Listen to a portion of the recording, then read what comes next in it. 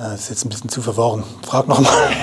Äh, mein Name ist Mathis Künzler. Ich bin Schauspieler, Regisseur, Vater von zwei Söhnen. Also der Schauspieler hat ganz oft das Gefühl, er muss alles aus sich selber kreieren und vergisst, dass eigentlich ganz viele Bezugspunkte um ihn herum äh, als Anspielpartner möglich sind. Es geht ganz stark darum, als Team zu kreieren.